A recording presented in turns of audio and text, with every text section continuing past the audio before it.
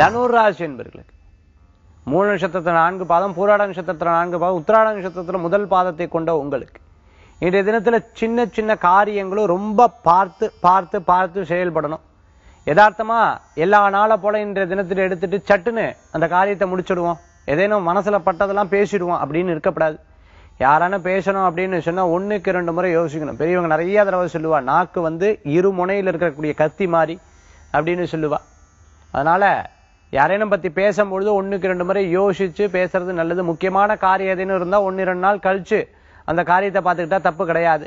திடீர் அதிர்ஷ்டங்கள் காத்துட்டு இருக்கு பழைய துறைகளில் இருக்கக்கூடிய பழைய பிரச்சனைகள் இதேன்னு இருந்ததுன்னா அதை பேசி தீர்க்கறதுக்குண்டான நாளாக இருக்கும். பூர்வீக சொத்து சம்பந்தமான விஷயங்களில் உங்களுக்கு சாதகமான பலன்கள் உண்டு. வழக்குகள் இருந்தால் அந்த வழக்குகளில் வெற்றி பெறத்துக்குண்டான நாளாக இருக்கும். தனுராசிக்குண்டான அற்புதமான எண் ஆறு நிறம். வெண்மை வழிபாட்டுக்குண்டான தெய்வம் ஐயப்ப சுவாமி வழிபாடு.